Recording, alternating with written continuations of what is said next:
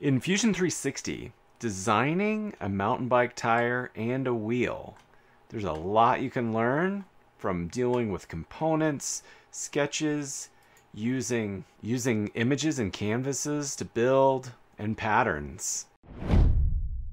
Hey, Tyler Beck with Tech and Espresso. Today I want to build a multi-component wheel and tire in Fusion 360.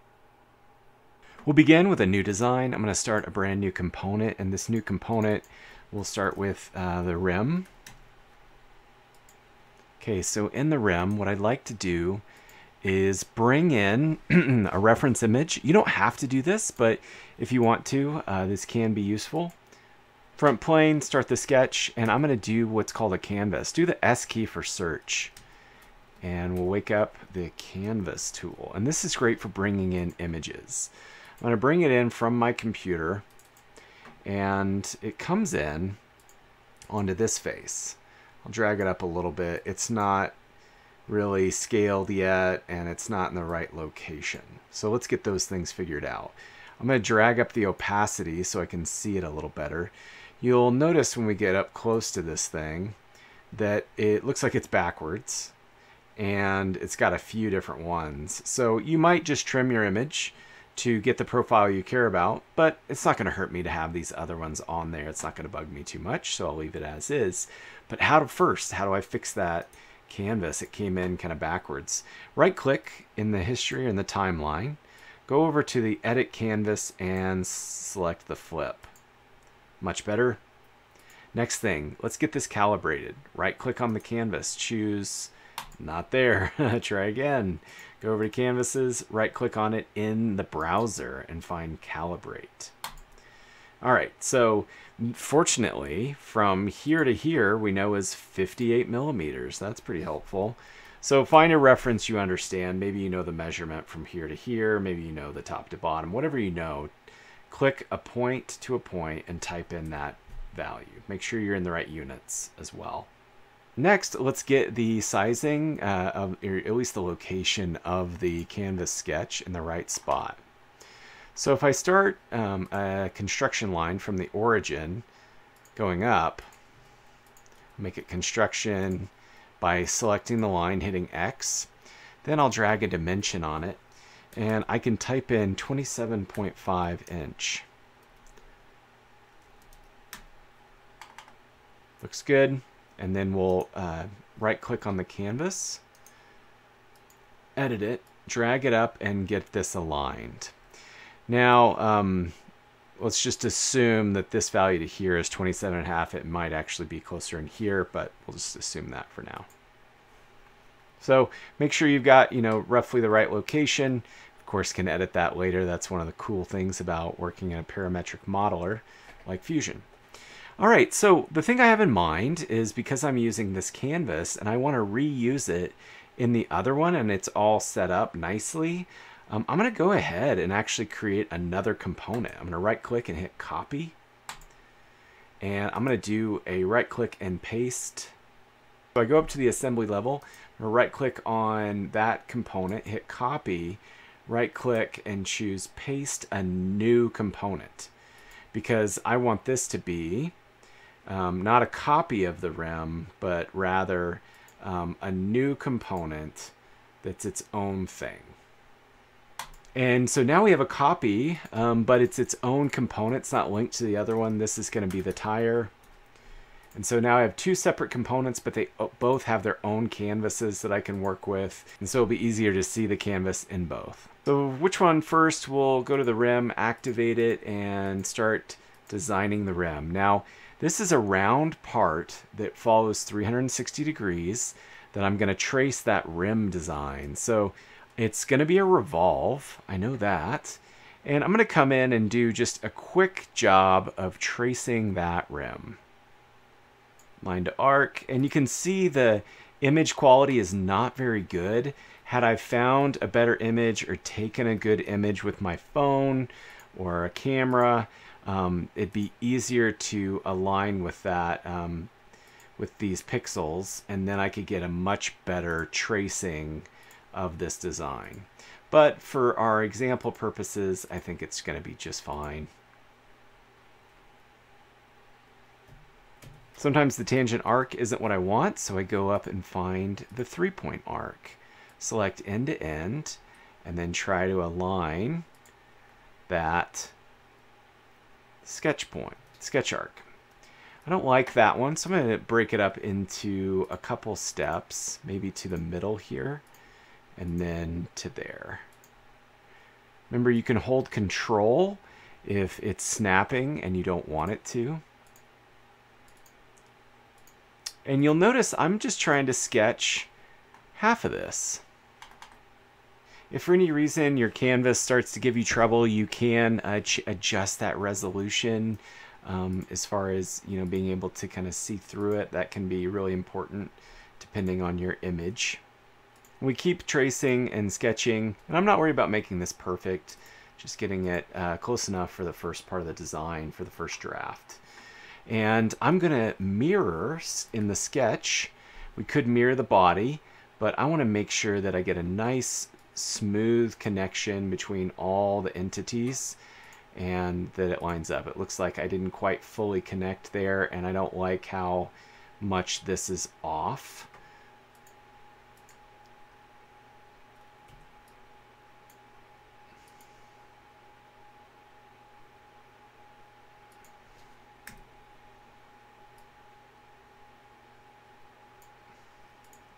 So I'm going to drag this over a little bit.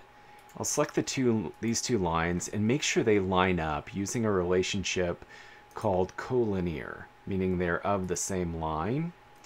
And now that looks a little better. So if I do a mirror sketch, box select all the entities that I want to do right here. I'm going to box select all the entities except for that middle line and bring that over. That looks a little bit better. Hit OK. And now we can revolve this object. Okay, so if I do the S key and do revolve, let's do both sides. And around what axis? If I zoom out, I want to use the origin down here. I'm going to spin around this axis. There's the preview of the rim. Looks okay. Looks good enough for now. And so there's our first component. Very cool. So I'm going to hide that for a minute and come down to the tire, activate that one, make sure it's visible. You can see it has its canvas. And now we're doing the tire. So I want to start a sketch and start working on it. I'm going to leave out the lugs for now. Maybe just do this um, in pieces. Front plane, start the sketch. And this time I'm kind of just, you know, tracing this tire.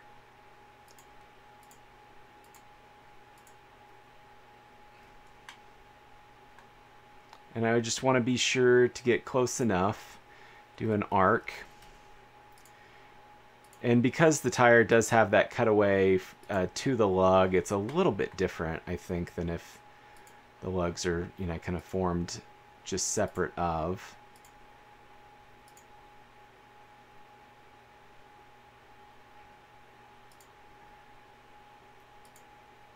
Again, going just for close enough.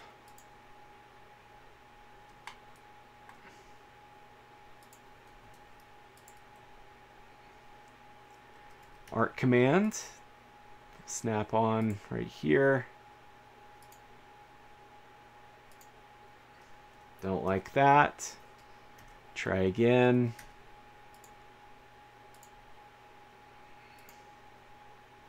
Much better. Probably more to do with the way this cross section is drawn that you got all these varying radii there. Or maybe that's how they're designed. I actually am not sure. The point is, we've got our profile sketched up. Again, we've sketched half of it, and we'll use the mirror sketch to uh, sketch everything over to the other side. How's that look? It looks okay. It's a little off, you can see, so maybe we should um, try bringing this over just a little bit.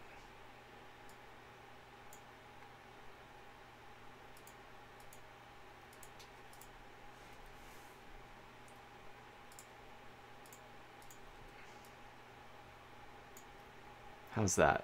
We'll try that one. Mirror command sketch mirror to be specific. Across here. Does it look better? Looks a little better. Looking pretty good. Okay, good enough.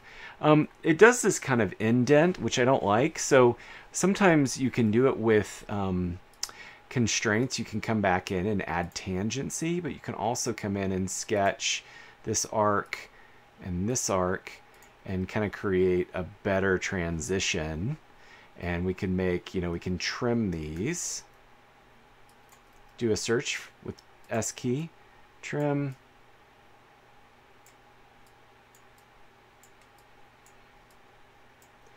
That looks better. I like that a little better. Okay, so probably good enough. Again, we'll try the revolve.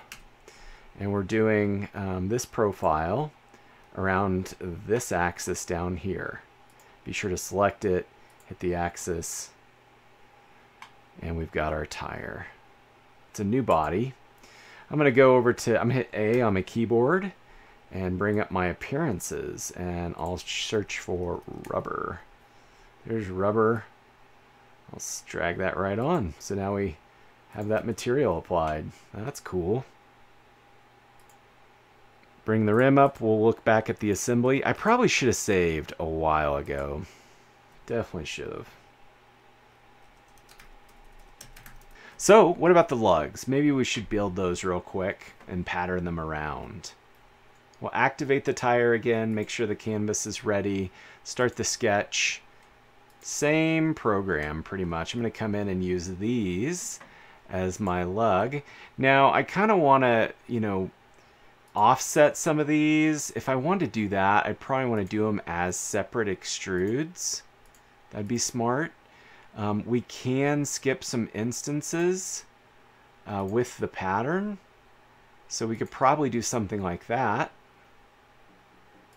And I'm going to mirror this in the sketch as well. So yeah, kind of crude. You can see I could do a much better job of tracing. Make sure that's vertical. We're going to mirror all of this around that line. Good enough? Yeah, for the example, good enough.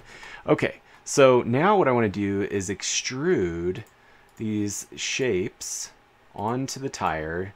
I'm going to join it right onto the tire. They're not separate bodies or anything, I don't think. Now that we're trying to do a little bit better job, I remove the appearances to make it easier to see in the tutorial. I'm going to first do the midsection by itself, making sure to join it, and then we'll pattern that. But let's now do um, these uh, next, um, let's now do these other sets for the tread.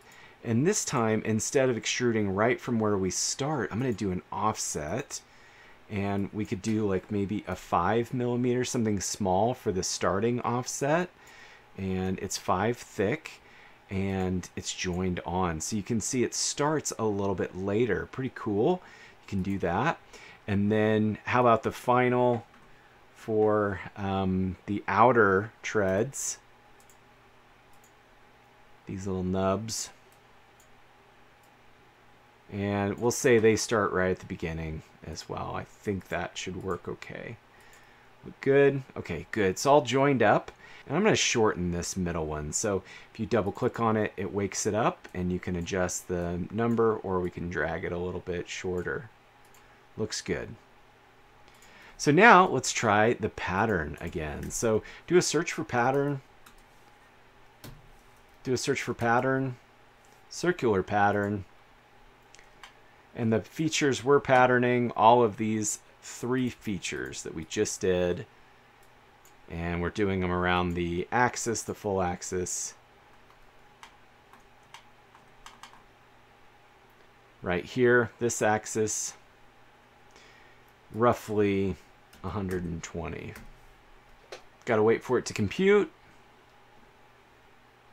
Okay, zooming in on the pattern, it looks like I should probably do a different pattern for these treads and make them a little tighter and more of them, and then even the outers, more of them. I'm happy with the spacing of that center tread or lug, whatever it's called. Um, so maybe do separate patterns for those. So a couple things we learned today, just using canvases for bringing up a photo to reference, doing multiple components, sketching lines and arcs, doing patterns, using revolves for our rounded objects. I hope this is helpful. I'll see you in the next video. Hit that like button for me. Hit that subscribe button so you can get notified with each new Fusion 360 tutorial.